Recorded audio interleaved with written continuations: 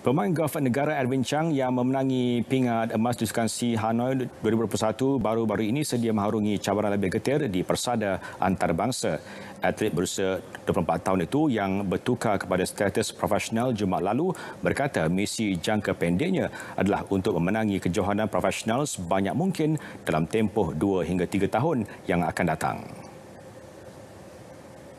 Short-term goal-wise, I'll definitely try to win a professional event first. Uh, doesn't matter if it's a local PGN tournament, ADT, and best if it's Asian Tour. Uh, but, uh, but right now, I just continue to work um, work um, in and out of the golf course, mentality, mentally, physically, and technically uh, with my skills, and just to further prepare myself for a professional career.